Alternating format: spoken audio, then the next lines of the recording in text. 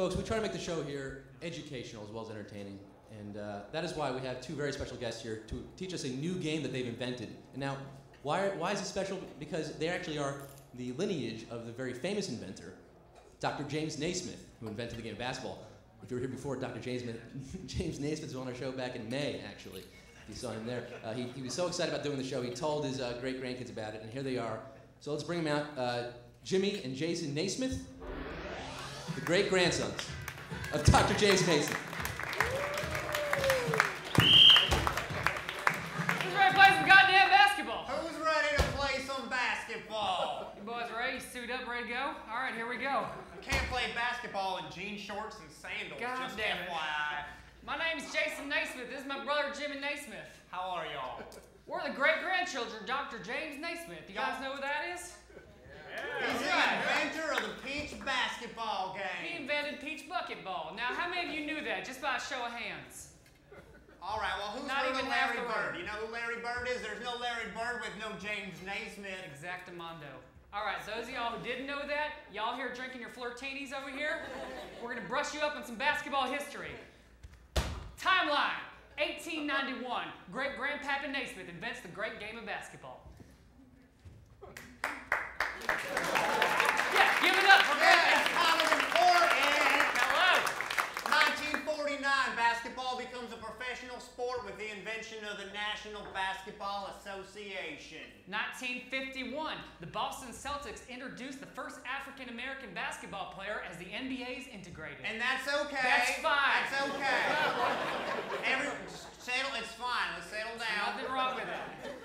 We're just saying, it's not what Grandpappy had in mind. Not what we're Right? He nailed those peach buckets to the barn door. That's not what he was thinking.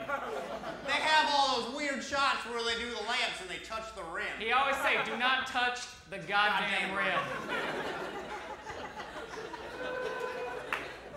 1974, after years of holding out, our home Texas High School Basketball League finally integrates. That same year, simultaneously, we were cut from our high school basketball. oh, thank you for clapping at our pain. 1976, Jason and I have our first alcoholic beverage. I had a Budweiser. I had a Mike's Hard Lemonade. They even had Mike's Hard Lemonade back then? I had the first one. God damn. 1975 to 1985. I will be honest, I do not remember a goddamn I thing. don't remember anything. Let's thank the good Lord they did not have Facebook mobile in our day.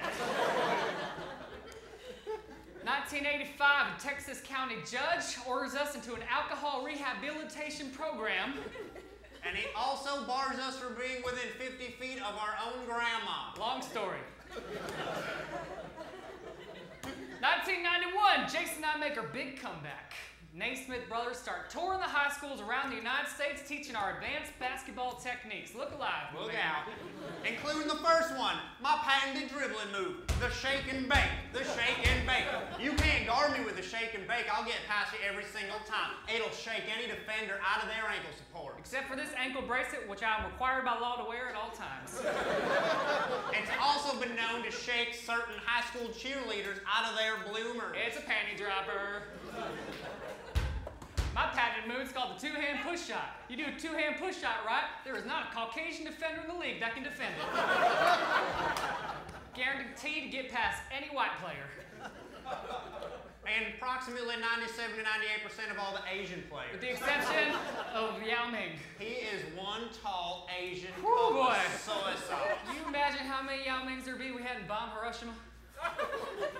Oh, it's too, Too soon soon? Too that soon one? for that? You guys prefer Nagasaki? Which one did they bomb first? They went alphabetically, I believe. is Hiroshima first, Nagasaki second. All right, uh, we mastered everything there is to do in great game basketball. It's the only thing, one thing left to do. That is to follow in the great Naismith tradition and invent a sport of our own, which is what we came to share with you today. All right, so we're gonna show you guys how to play table soda ball.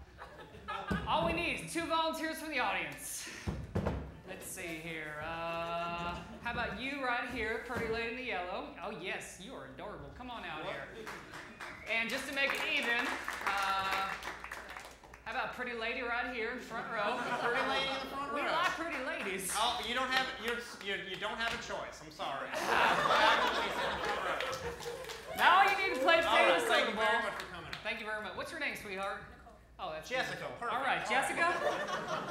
All you need to play Tater Soda Ball is approximately five cups, uh, a ping pong ball, and a non-alcoholic beverage, either a soda or a non-alcoholic beer. In our case, they gave us Coors Light. Well,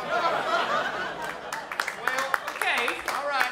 Oh, also, it should be noted in the infant stages of table soda ball, uh, minorities are not yet allowed to play. Just not a good idea.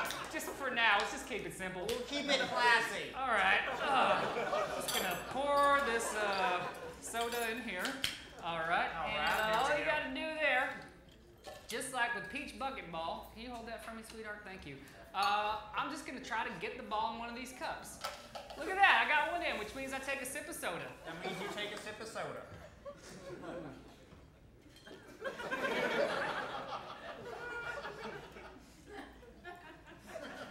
Well, that takes me back.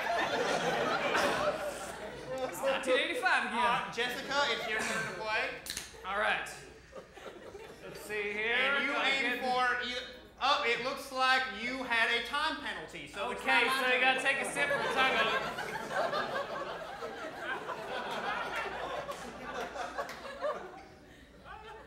All right. Uh-oh. I'm drinking my mustache off.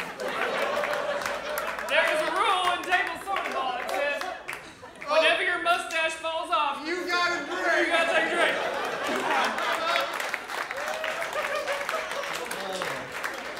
Jimmy. Here, Jessica, I got some Oh full boy. leather. All right. Uh, Jordan, Jordan, backstage. Can we get a, uh, a mop Just out one here? sec- just one second here. We need a mop. We need a mop, Jordan. All right, what's the score? I don't know, but I feel like I'm winning. Wait, wait. Jordan, I'm gonna mop Do me a this up. favor here. Uh, do you give me a Uh, little kiss on the cheek? Oh shit. Give me a kiss. Oh, my Thank God. you. All right. I'm gonna need a kiss on the cheek as well. Ah, there you go, look at that. Jimmy, Jimmy and Jason Naismith. Uh, this is getting messy. I believe they're falling off the wagon as we speak. That's This a good is, idea. this is uh, It's just like a tequila shot. I Naismith, like bro- that. God damn, are we out of beer already? Naismith brothers. I think we're out of beer. Uh, do you mind if I borrow this for a second. Oh, god damn it. Jordan, escort these guys off stage? I think they're, uh, I think they reached their limit here. Uh, my wife used to drink that before she left. Jason, that bracelet should be going off. Uh, We just we got good? word that our Everybody have is in in the the audience, now? so we're gonna have to get out of oh here. my Okay. God. I have to go talk to the Texas County Judge. I got. Thanks, guys. James, Awesome ball. Jordan, we have to clean this up here. Jason. Jason and Jimmy Naismith. There's a mustache on the floor. Mustache down. Jason, uh, Jason, Jason and Jimmy? Jason and Jimmy Naismith. Jimmy. My God, what happened?